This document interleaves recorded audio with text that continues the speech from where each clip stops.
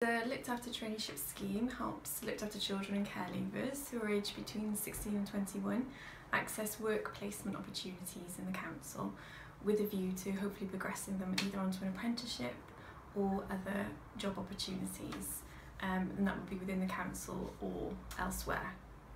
Um, so we also have a, a bespoke tutor attached to the scheme from Cardiff and the Vale College and she works with them for one hour a week we work on employability skills and personal development. We work on developing their confidence.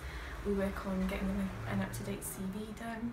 We've had about 60 young people come through the traineeship scheme on a variety of different work placements from parks to ICT um, to bereavement services um, and we've had, uh, we're on our seventh apprenticeship at the moment so some of those young people have gone on to apprenticeships with the council but it's been a variety of different work placements for a variety of different lengths of time. Sometimes it can be four weeks and sometimes it can be six months.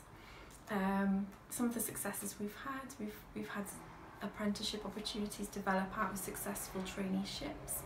And for some young people, it's just a case of um, completing qualifications for maybe the first time and going on to maybe full-time college or full-time apprenticeship with Cardiff Council or even we've had one young person go on to get a full-time job after completing a short traineeship in a catering area. He went on and got a full-time job in a restaurant. I think what we'd hope they get out of this is that they develop confidence, that they feel like they can achieve things um, and that they have they can follow their dreams and that they can go into areas um, of the council they may not be aware of. Everyone's aware of sort of bins and street lighting, but there are areas of the council that until they actually come onto the traineeship scheme they know nothing about. My job is trying to match their passions and their skills with a service area where I think they will fit the best and then hopefully you know something good will come out of it. Some people this has been an opportunity to start something positive and um, you know look to the future and they may have had negative experiences in the past with education, school, college but this really is is a fresh start. We don't look at any of that. They don't need any GCSEs to come onto the traineeship.